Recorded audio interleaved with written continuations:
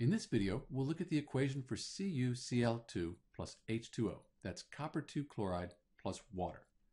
Copper, that's a metal, and then chlorine, that's a nonmetal. So this is going to be an ionic compound, and often ionic compounds will dissolve in water. We should check a solubility table just to make sure that this is soluble, that it will dissolve in water. So here's our solubility table, and these are the positive ions, the cations. So let's go down and find copper 2. And there's copper 2 right there.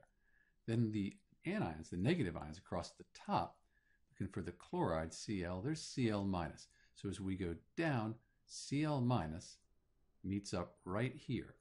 So here we have our copper 2 plus, our Cl minus. So it says S. That means it is soluble and it will dissolve in water. So let's go write the equation.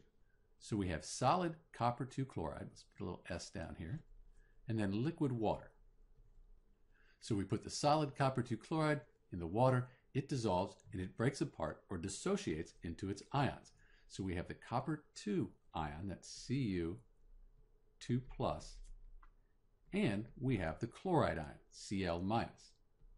But we have 2 here. This 2 means there's two chloride ions, so we need to put a coefficient of 2 in front of the Cl minus there. Next, because we dissolve this in water, we're going to write AQ after each ion. That AQ, that means aqueous, or dissolved in water. And because we've written aqueous, we don't need to write the H2O again on this side of the equation. And with that, we're done. This is the equation for copper 2 chloride plus H2O. If we let this sit out for a while, the water would evaporate and it would return to our copper 2 chloride. This is Dr. B, and thanks for watching.